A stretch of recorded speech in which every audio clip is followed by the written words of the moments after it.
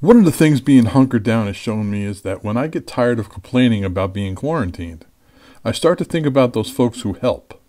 Those doctors and nurses, grocery store clerks and garbage collectors, all the people trying to help me retain some sense of normalcy.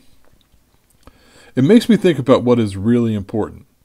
The conclusion I have come to, because I've had a moment or two to think about it, is that it is in helping others that I get the most benefit. The universe, I'm told, doesn't care about how much money I have, or how successful I am, or how ambitious I am. The only thing that matters is how good of a person I am. That can only be measured by how much effort I put into helping others.